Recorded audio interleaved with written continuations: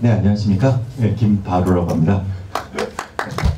아, 원래 시작하기 전에 보통 제가 인문학 출신이라고 꼭 말씀을 드립니다. 음, 제가 얘기하는 대부분의 내용들이 좀 IT 기술적인 내용이어서 저를 공과 출신으로 생각을 하시더라고요. 저는 기본적으로 아까 말씀드렸다시피 중국 북경대학교에서 어, 중국 고대사를 전공했습니다. 고대사 중에서도 여기 계신 분들도 관련이 있는 게 그 유목민족사 그쪽이 메인 전공입니다. 그래서 석사 논문을 소그드라고 네, 그쪽에 한반도 유입을 다뤘습니다. 네. 네. 그쪽을 다뤘는데 갑자기 그런 사람이 박사 때 이제 디지털 인문학 이라는 거를 시작을 한 이유가 다른 게 아니고 아마 선생님들도 비슷한 고민이 있으신 분들도 있을 텐데 유목민족을 다루다 보면 유목민족에 대한 수많은 자료들이 다 전 세계에 다 퍼져 있습니다. 그리고 그것조차도 많지가 않죠.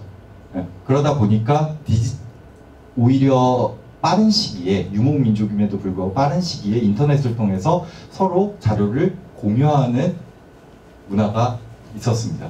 네. 그러다 보니까 오히려 어, 전혀 상관없어 보이는 디지털과 유목민족이 좀 더 빠르게 접근할 수 있었던 거죠. 그래서 오늘 이번 시간에는 음, 따지면은 제가 지역학을 처음 왔고 그리고 저를 불러주신 이유가 기본적으로 다른 방향에서의 insight를 얻고자 하시는 거라고 생각을 했습니다.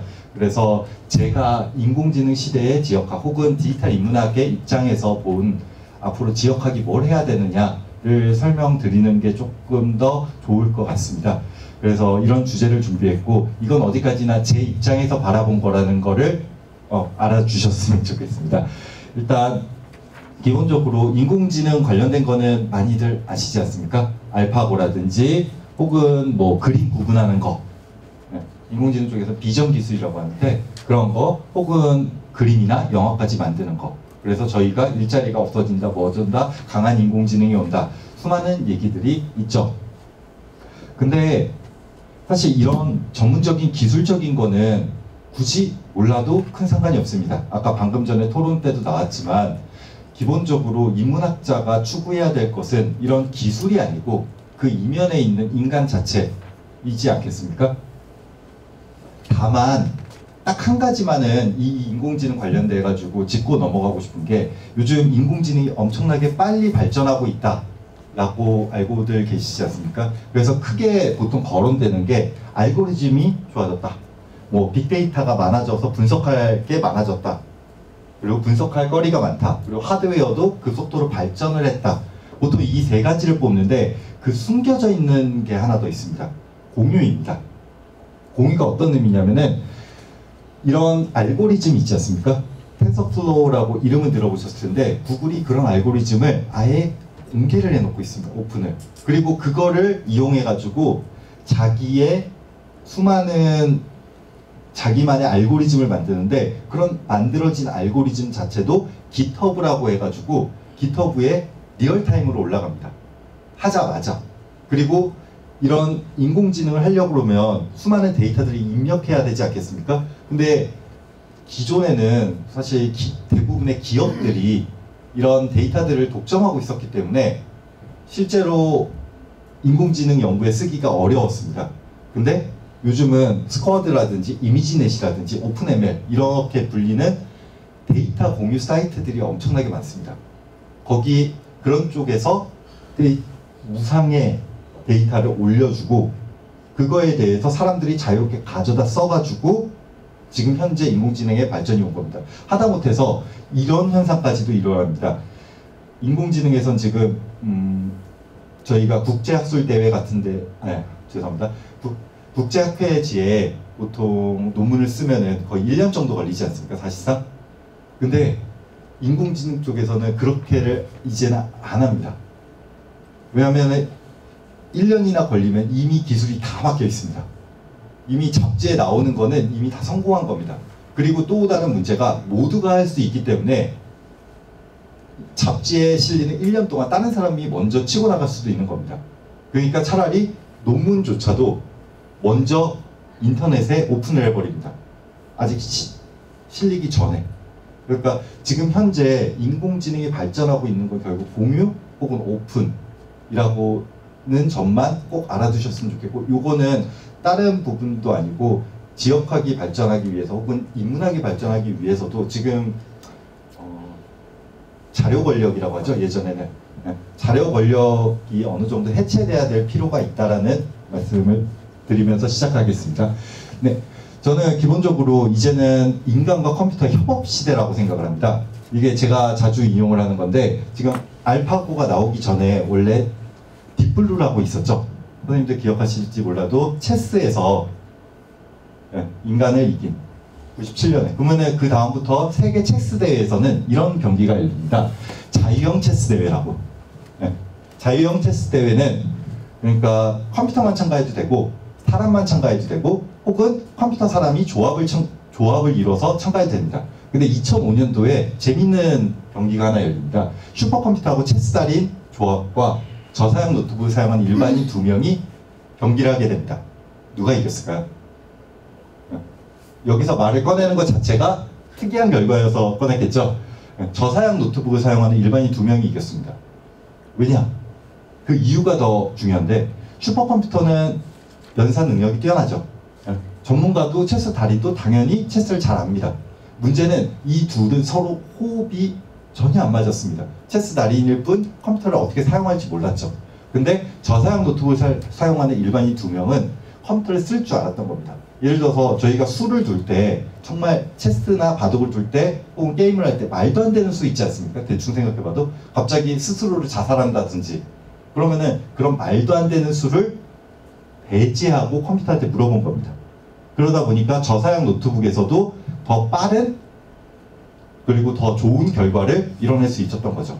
이게 말하는 거는 앞으로 일반 컴퓨터를 사용 잘 활용해서 그리고 컴퓨터하고 잘 소통을 해가지고 하는 것이 단일의 능력, 개별의 능력을 키우는 것보다 오히려 더 중요할 수 있다는 점입니다. 그래서 분석은 컴퓨터한테 시키고 해석은 인간이 한다. 로 보통 제가 말씀을 드리는데 디지털 인문학 뭐 이렇게 길게 써져 있는데 결국은 디지털하고 컴퓨터를 융합시키는 겁니다. 근데 어떻게 융합시키냐 디지털 본위로 융합시키냐 인문학 본위로 융합시키냐 뭐 여러 가지 논쟁들이 있을 수 있겠지만 기본적으로 그런 거는 일단 다 열어두고 이야기를 해두면 죄송합니다 이야기를 해두면 제가 보통 디지털 인문학 할 때 프로세스로서 제시해 주는 게 이겁니다 다섯 개 이렇게 제시해 드리면 좀 헷갈리기 때문에 제가 보통 예시를 논문 쓰는 걸로 잡는데 디자인이나 설계 쪽은 따지면 논문 쓸 때 목차 잡는 작업입니다. 목차를 잡기 위해서는 내가 무엇을 해야 될지 전체 그림을 다 그릴 수 있어야 되겠죠. 네.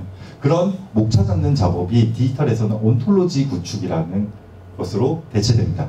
컴퓨터한테 내가 가지고 있는 지식 체계를 알려주는 거죠. 체계 자체를. 그리고 그런 자료를 하나하나 XML이나 RDB나 혹은 RDF 다양한 방식으로 축적하는 것. 우리가 논문을 쓰기 위해서 자료 수집하는 거와 똑같은 작업이라고 생각하시면 되고 그 다음에 분석과 해석이 있습니다. 네, 다만 기존의 인문학과 가장 차별성이 있는 부분이 어떻게 보면 분석과 해석인데 기존 인문학에서는 저희가 자료를 보면서 그걸 분석하고 해석도 같이 했습니다. 근데 저는 디지털 쪽에서는 좀 분해될 필요가 있지 않나. 그러니까 분석은 따지면은 일종의 하나하나 나누는 과정입니다. 정량화를 하고 혹은 분류를 하고. 근데 이제 정량화하고 분류하는 건 컴퓨터가 더 빠릅니다. 그러면 컴퓨터한테 그걸 시키고 다만 컴퓨터가 아직까지도 못하고 제 개인적인 예상으로 50년 내로도 하기 힘든 게 의미를 부여하는 겁니다. 왜냐하면 의미, 의미를 부여하는 것은 전형적으로 인문학자의 역할이 될 수밖에 없는 겁니다. 그렇기 때문에 뭐 GIS라든지 랭귀지 어널리스트라든지 네트워크 어널리스트 마음대로 사용하고 그거에서 도출된 결론을 도출된 숫자들이 숫자들을 숫자들의 의미가 무엇인지 얘기하는 것이 중요하다고 생각합니다. 마지막으로 이제 출력단인데 이게 생각보다 저는 중요할 수도 있고 안 중요할 수도 있지만 한 가지 포인트는 기존의 종이로 출력했을 때하고 다르게 디지털에서는 멀티미디어가 됩니다. 사진, 동영상, 사운드 그런 것들을 더 보다 고려를 해가지고 어, 만드는 게 중요하다고 생각하고요. 그래서 결국은 지역학을 생각해 보면 결론은 두 가지 중에 하나일 겁니다. 하나는 인간만이 할 수 있는 것을 하는 것. 그리고 혹은 디지털과 협업하는 것. 저 개인적으로는 제가 융합 연구를 하고 있지만 정말 인간만이 할 수 있고 그 영역에서 끊임없이 노력하는 것도 매우 중요하다고 생각합니다. 다만 그렇게 했을 때 비효율이 많을 수 있기 때문에 좀 바꿔보는 게 어떨까? 특히 지역학처럼 다른 학문이 종합되어 있는 종합학문으로서는 융합이 태생적으로 필요한 게 아닐까 생각됩니다. 그래서 제가 크게 세 가지 키워드 정도를 제시하고 싶은데 하나는 교육이고 하나는 데이터 그리고 해석입니다. 이게 기본적으로는 죄송합니다. 기본적으로는 인간만이 할 수 있는 융합에서 인간만이 할 수 있는 겁니다. 컴퓨터가 이거를 해줄 수는 없습니다. 그래서 첫 번째로는 데이터인데 이 사람이 누구냐면은 구글의 기술 총책임자입니다. 이 사람이 한 말이 We don't have better algorithm, we just have more data 라고 했습니다. 구글, 우리가 구글을 생각하면 알파고부터 시작해가지고 기술적으로 매우 뛰어났다고 생각을 하는데 실제 거기 기술 총책임자는 자기네들의 알고리즘이 뛰어나다고 생각하지 않습니다. 오히려 반대로 데이터가 많다고 생각을 합니다. 그런 데이터는 정말 죄송합니다. 데이터는 인문학자들만이 오히려 더 잘 만들 수 있습니다. 근데 예를 들어서 어, 지역하고 관련된 거를 고민하다 보니까 현대의 지리지라고 할 수 있는 향토문화 전자대전 다들 아시죠? 네. 그런 향토문화 전자대전과 같이 일종의 디지털로 과거에 지역학 했던 거를 공유하고 있는 겁니다. 근데 향토문화 전자대전이 뭐 나쁘진 않지만 본질적인 이것도 한계가 하나 있습니다. 뭐냐면은 향토문화 전자대전의 수많은 정보들이 사실은 다 조각조각 나 있고 기존의 종이 사전에서 만들던 로직 그대로 가지고 와 있습니다. 네, 사실상 그렇기 때문에 뭐가 문제냐면 컴퓨터가 여기에 등장하는 어떤 인물이 누군지 이해를 못합니다. 이게 컴퓨터 쪽에는 스티멘틱이라고 하는데 예를 들어서 충무공이 있고 실제 조상주식에서 충무라고 등장을 하고 이순신이라고 등장하고 통제라고 등장합니다. 이 세 사람은 아는 사람들은 다 이순신인 걸 알죠. 문제는 컴퓨터는 따로 표시를 해주기 전에는 이 세 사람이 같은 사람이라는 걸 모릅니다. 그러면 컴퓨터한테 이걸 알려주면은 보다 빠르게 관련 정보를 찾아줄 수 있겠죠. 그리고 실제 지역학 연구하실 때도 그런 경우 많을 겁니다. 여기에 있는 인물 정보와 저기에 있는 인물 정보가 서로 연결되지 않아서 따로따로 찾아야 되는 거. 예, 찾을 수 있죠. 근데 굳이 그럴 필요 없지 않습니까? 좀 더 편하게, 편리하게. 그렇게 한다면 이거 같은 경우는 지금 시를 예로 들었는데 여러분들 각자의 전공이 있을 겁니다. 그 전공 영역에서 분명히 수많은 지식들이 연결돼 있을 텐데 그 연결된 지식들을 어떻게 주느냐 컴퓨터가 이해해 줄 수 있게 만드는 겁니다. 핵심 개념은. 그래서 조상규실록에 있는 어떤 것과 어떤 것을 예를 들어서 이거 같은 이순신에게 아이디 값을 부여를 해주는 겁니다. 간단히 말해서는 어, 주민등록번호 다들 있으죠. 주민등록번호 같은 거를 다 부여를 해주면은 설령 다르게 나오더라도 같이 나올 수 있습니다. 이거는 따지면은 제일 단순한 아래 단위의 영역입니다. 같은 인물을 식별하는 것 뿐이죠. 어. 근데 식별뿐만이 아니라 문장 단위 자체를 이제는 수러를 연결하는 방법도 있습니다. 예를 들어서 이거는 유러피아나라고 유럽에서 자기네들이 가지고 있는 문화유산들을 하나하나 다 통괄해서 모아놓은 겁니다. 그 여기서 쓰이는 것들이 이런 거에 있는데 예를 들어서 레미제라블의 크리에이터는 빅토르 슈고다. 빅토르 슈고는 영어로 빅터 슈고이다. 라고 컴퓨터한테 알려주는 겁니다. 저희 입장에서는 어떻게 보면 머릿속에 이미 상상으로 다 있는 거죠. 있지만 이거를 하나하나 컴퓨터한테 알려줬을 때 일단 제일 첫 번째 기능은 쉽게 검색이 할, 검색을 할 수 있겠죠. 근데 이런 게 모이고 모이면 실제로 검색뿐만이 아니라 다른 일도 많이 할 수 있습니다. 그리고 실제 이런 거에 기업들은 돈을 어마어마하게 쓰고 있습니다. 예를 들어서 네이버나 혹은 카카오 거기에 스피커 있죠. 스피커에 때 질문을 하면 답을 해주죠. 요즘 걔네들이 어, 무슨 일을 하고 있냐면 위키에 나오는 수많은 항목들을 이런 식으로 만들어주는 겁니다. 예. 그렇게 해서 대답해주게. 이런 거에 진짜 수십억을 때려받고 있습니다. 위키에. 근데 위키가 뭐 나쁘진 않지만 사실 엄밀히 말해서 전문적인 지식들이 약한 것도 사실이지 않습니까? 선생님들이 각자의 영역에서 가지고 있는 전문 지식들을 컴퓨터한테 알려준다면 그거는 전혀 다른 얘기가 될 수 있을 겁니다. 그 다음에 다음 단계로 제가 꼭 얘기하는 건 해석. 이거는 한 프로젝트의 예시입니다. 이 프로젝트는 19세기에 한국 입출항 기록 있지 않습니까? 그 입출항 기록들을 다 모아놓은 겁니다. 데이터로 모았는데 제가 이거를 꼭 예시로 드는 이유 중에 하나가 뭐냐면 이게 전체 걔네들이 수행한 프로세스입니다. 요크 대학교에서 역사학과가 역사학과 사람들이 이 온톨로지를 만들었습니다. 이 지식의 체계도 입출항 기록은 어떤 식으로 구성이 돼 있고 어떻게 돼 있다 라고 온톨로지를 만들고 실제 데이터도 만들었습니다. 이거에 대해서 인포메이션 하는 쪽에서 이제 언어 분석이라든지 지리 정보 분석을 수행을 했습니다. 그리고 그거에 대한 시각화를 또 다른 곳에서 했습니다. 다 분업화돼 있죠. 근데 실질적으로 이 모든 일들을 진두지휘한 건 요크 대학교입니다. 왜냐하면 컴퓨터 하는 사람들은 기본적으로 해당 정보를 잘 모릅니다. 모를 수밖에 없죠. 그리고 해당 정보 중에서 어떤 거를 어떤 것이 유의미하고 그거를 시각화해야 된다는 것도 모르고 있습니다. 그렇기 때문에 이런 다양한 시각화들을 처리해 볼 수 있는데 예를 들어서 한국에도 비슷한 이런 해석 분석 해석 작업이 이루어지는 게 문화재 공간 정보 서비스입니다. 현재 문화재청이 보유하고 있는 모든 자료를 입력을 하고 그거에 대해서 예를 들어서 어디에는 매장 문화재가 많을 가능성이 높다. 어디에는 옆에 뭐 화학공단이 있으니까 불이 날 위험이 있다.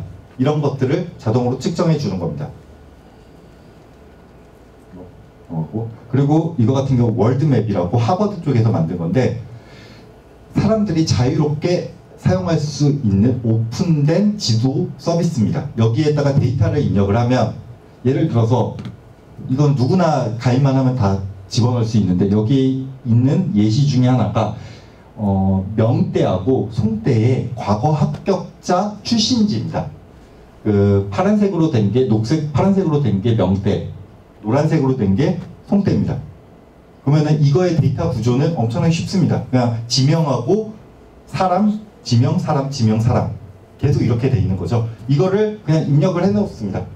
해놓으면 여기 플랫폼에서 누구나 이 해당 시각화 혹은 지리 정보 분석을 볼 수 있는 거죠.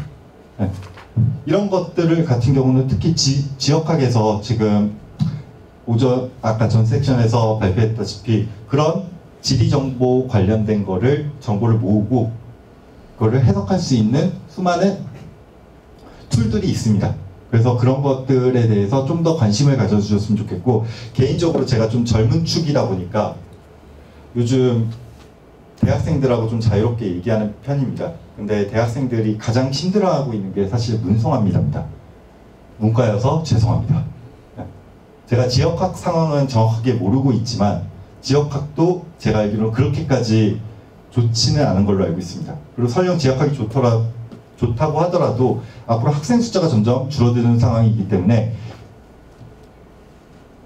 줄어, 아, 죄송합니다. 줄어드는 상황이기 때문에 결국 입학 정원은 점점 줄어들 예정입니다. 그랬을 때 또 다른 각도에서 디지털 문해율은 또 어떤가? 디지털 문해율은 저희 문맹률의 반대말입니다. 디지털에 대해서 우리가 얼마나 잘 이해하고 있는가. 그래서 요즘 쓰이는 말 중에 하나가 digital native라고 있습니다. 요즘 10대, 20대 같은 경우는 새로운 디지털 기술이 나와도 그거를 빨리 적용합니다. 근데 저희 아버님, 어머님만 해도 카카오톡 화상 통화를 하기 위해서 1시간 동안 제가 설명을 드렸습니다. 실제 문화센터에서도 수많은 디지털 문해에 관련된 문제가 나오고 있는데 지금 앞에서 했던 데이터를 구축하고 그걸로 상업적인 이득을 얻을 수 있고 혹은 연구할 때 뭐 여러 가지 분석 기법을 사용할 수도 있지만 결국 중요한 거는 그 모든 것들을 포괄해서 아이들에게 디지털 문해율을 높이고 그걸 통해 가지고 취직을 잘 하게 하는 게 중요하지 않을까라는 것입니다. 실제 그래서 지금 현재 또 다른 현실적인 문제가 지금 SW 교육 해외에선 코딩 교육이라고 하는데 이게 이거 받은 사람들이 이제 2021년부터 들어오게 됩니다. 이 친구들은 처음부터 어릴 때부터 코딩 교육을 받았습니다. 이제 그런 친구들을 어떻게 가르칠 건가? 단순히 기존 전통의 지역학을 가르치듯이 가르칠 것인가? 혹은 다른 디지털 tool이나 다른 방식들을 통해 가지고 이 친구들을 새로운 방식으로 가르칠 것인가?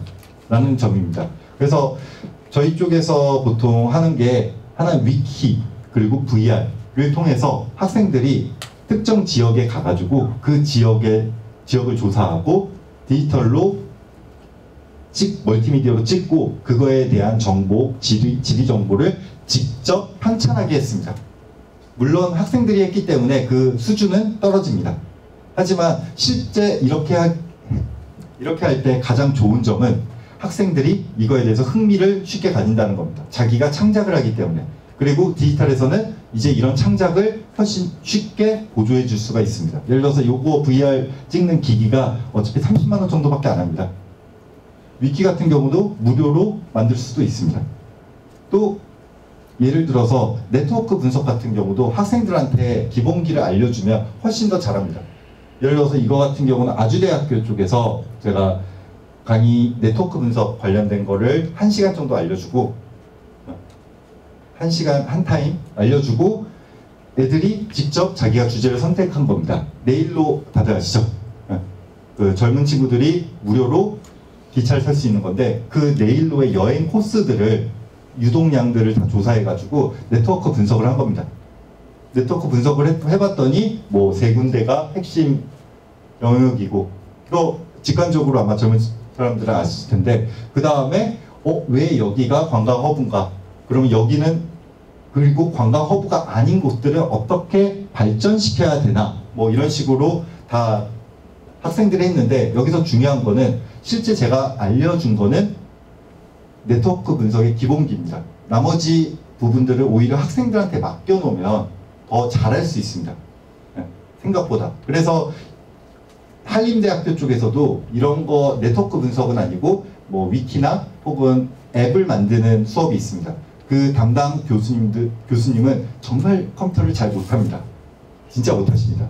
다만 그 선생님이 하는 거는 아이들이 뭘 하고 싶다고 했을 때 그거에 대해서 서포트만 해주십니다.